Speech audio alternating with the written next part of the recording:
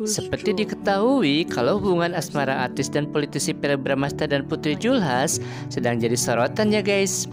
Karena perbedaan umur yang cukup jauh dan digadang-gadang karena dekat soal politik, akibatnya banyak sekali fans Wilper yang membanding-bandingkan antara Putri Julhas dan Natasha Wilona yang merupakan mantan terindah dari Pera Bramasta tersebut.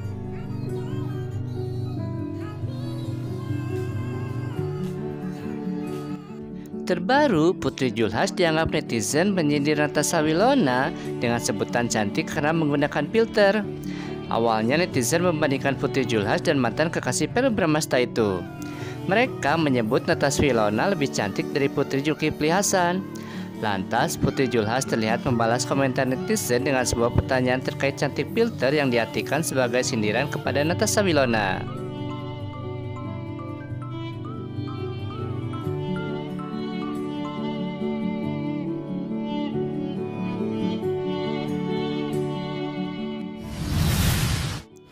Menanggapi hal tersebut, Wilona mengaku tak begitu mengikuti perkembangannya di media sosial.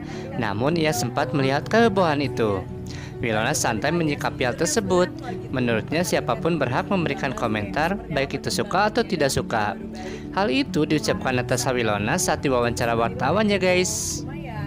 Kalau menurut aku sih sebenarnya gini, setiap orang tuh berhak berkomentar apa pun, setiap orang berhak untuk suka atau nggak suka sama kita jadi ya kalau aku pribadi dari dulu sampai sekarang sama aku rada-rada cuek ya. Karena bagi aku selama aku tidak menyakiti dan mengganggu siapa pun aku nggak perlu ada yang aku takutin atau aku ngerasa bersalah atau ngerasa nggak enak.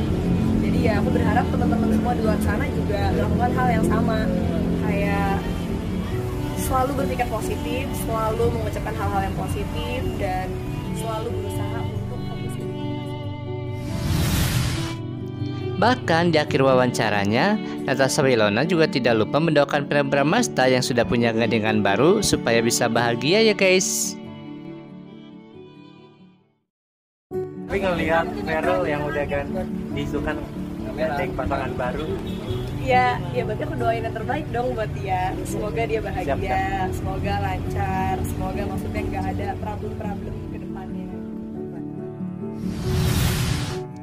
Itulah jawaban bijak Natasha Wilona saat ditanya pendapatnya mengenai komentar Putri Julhas yang diduga menyebut kalau dirinya cantik karena pakai filter. Gimana nih pendapat kalian semua mengenai video tadi? Jangan lupa tulis jawabannya di kolom komentar ya guys. Dan buat kalian yang belum subscribe channel ini, jangan lupa untuk tekan tombol subscribe-nya agar selalu terhubung dengan video-video lainnya. Terima kasih.